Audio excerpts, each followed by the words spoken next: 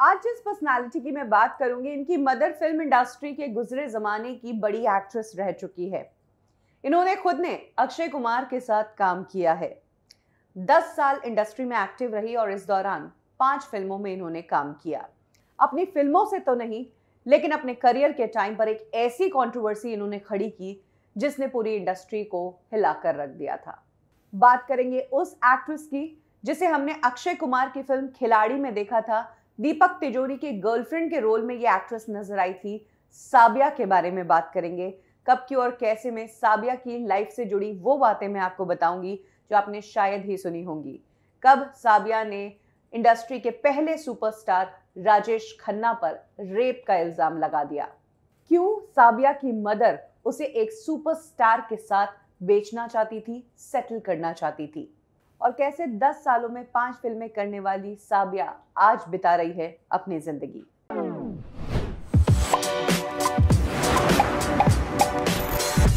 साबिया की कहानी में शुरू करूँ, उससे पहले उनकी मदर का इंट्रोडक्शन आपको देना चाहूँगी। साबिया की मदर का नाम था अमिता, जो फ़िल्म इंडस्ट्री में बड़ी एक्ट्रेस थी। तकरीबन 50 फ़िल्मों में काम कर चुकी थी, जिसमें से एक फ़िल्म थी शमी कपूर के साथ, तुम सा नहीं देखा। तुम सा नहीं देखा। अमिता ने फ़िल्म इंडस्ट्री में काम तो किया, लेकिन उनका करियर उस तरह से टेक ऑफ़ नहीं हो पाया जैसा वो चाहती थी। वो लीड एक्ट्रेस या मेन स्ट्रीम एक्ट्रेस नहीं बन पाई। एक टाइम पर जब अमिता की फ़िल्में चलनी बंद हो गई तो अमिता ने शादी कर ली। जिस शख्स से अमिता ने शादी की थी, वो ऑलरेडी मैरिड था और दो बच्चों का पिता था। क्या आप जानते हैं कि अमिता ने किस आदमी से शादी की थी? ये और कोई नहीं, बल्कि कामरान खान थे, जो एक फ़िल्म मेकर थे। जो फराह खान और साजिद खान के पिता थे। जी हाँ फराह और साजिद के पिता की दूसरी शादी एक्ट्रेस अमिता से ही हुई थी और इसी शादी से अमिता ने साबिया को पैदा किया। यानी कि हम कह सकते हैं कि साबिया जो है फारा और साजिद की सौतीली बहन है। शादी के बाद अमिता तो इंडस्ट्री से दूर हो गई। लेकिन अमिता चाहती थी कि उनकी बेटी जब बड़ी हो तो वो भी फ़िल्म इंडस्ट्री में ही काम करे। अपनी बेटी को फ़िल्म इंडस्ट्री में लॉन्च करने के लिए अमिता इतनी ज़्यादा पैशनेट थी कि बेटी जैसे ही बड़ी दिखने लग गई, एडल्ट दिखने लग गई, बेटी को इंडस्ट्री में लॉन्च कर दिया। पंद्रह साल की उम्र में साबिया को फ़िल्म इंडस्ट्री में काम कराना शुरू कर दिया अमिता ने। और इसमें से एक फ़िल्म साबिया ने की थी, अनोखा रिश्ता। इस फ़िल्म में सुपरस्टार राजेश खन्ना थे। स्मिता पाटिल भी फ़िल्म का हिस्सा थी।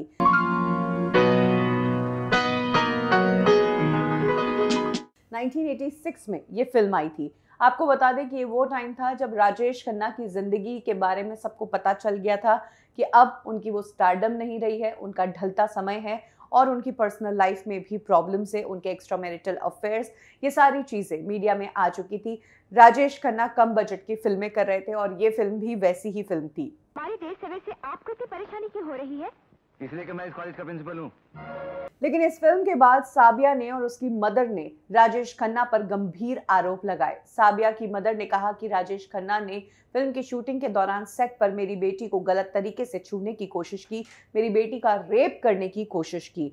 जब साबिया की मदर अमिता ने ये सारी बात मीडिया में बताई तो अगले दिन सभी न्यूज़पेपर की हेडलाइंस यही थी।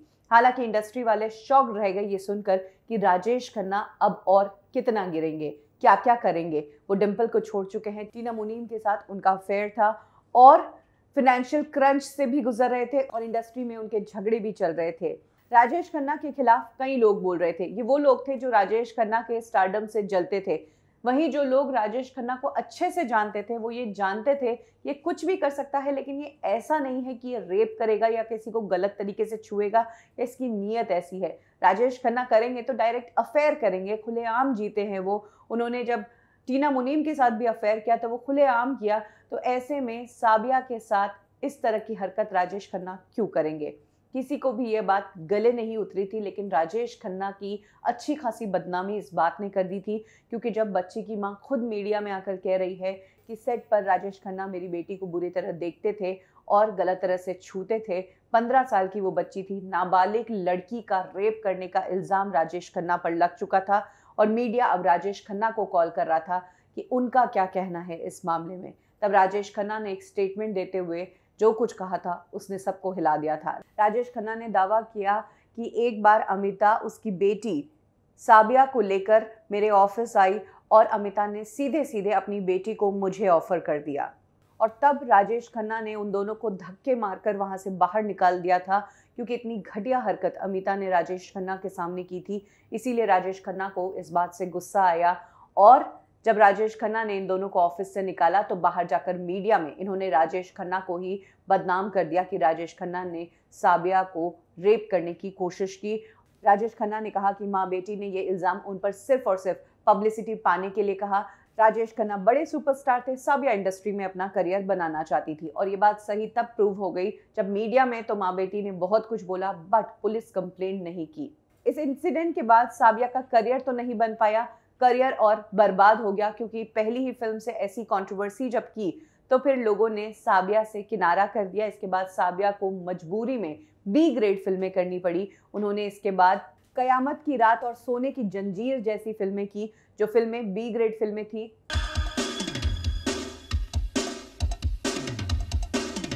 साबिया के पास ऑप्शन नहीं था, कोई भी बड़ा फ़िल्म मेकर अब उन्हें अपनी फ़िल्म में नहीं लेना चाहता था, इसीलिए वो बी ग्रेड फ़िल्मों की लीड एक्ट्रेस बन रही थी। बट ये करके वो खुश नहीं थी, वो मेन स्ट्रीम सिनेमा में ही काम करना चाहती थी तो उन्होंने फिर से इंडस्ट्री वालों से काम मांगना शुरू किया। अब इंडस्ट्री वाले उन्हें लीड एक्ट्रेस का रोल नहीं दे रहे थे। राजेश खन्ना पर जिसने रेप का इल्ज़ाम लगाया उससे प्रोड्यूसर्स दूर भाग रहे थे। इसीलिए लोगों ने कहा कि अगर काम करना है छोटा मोटा रोल दे सकते हैं लीड हीरोइन का रोल तो नहीं दे सकते हैं। यही कारण है कि आगे चलकर साबिया ने कुछ फ़िल्में तो की जो बड़ी फ़िल्में थी लेकिन उनमें उनके रोल्स छोटे ही थे जिसमें से खिलाड़ी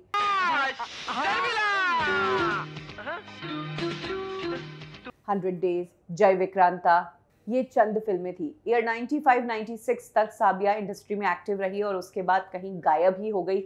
इंडस्ट्री ने उन्हें काम ही नहीं दिया। उनके पास ऑप्शन नहीं था। इस इंडस्ट्री को छोड़कर उन्हें नया काम ढूंढना पड़ा। कहा जाता है कि इंडस्ट्री को छोड़ने के बाद साबिया ने गल्फ कंट्री की किसी एयरलाइंस में काम करना शुरू किया और कुछ समय तक एज अ ज्वेलरी डिज़ाइनर भी वो एक्टिव रही। आज साबिया और उनकी मदर अमिता दोनों ही इस इंडस्ट्री से दूर है। वो कहाँ हैं? किस हाल में है, ये किसी को नहीं पता। बट हाँ जब तक इंडस्ट्री में एक्टिव थी, तब साबिया ने राजेश खन्ना वाले इस मुद्दे से सभी को हिलाकर रख दिया था।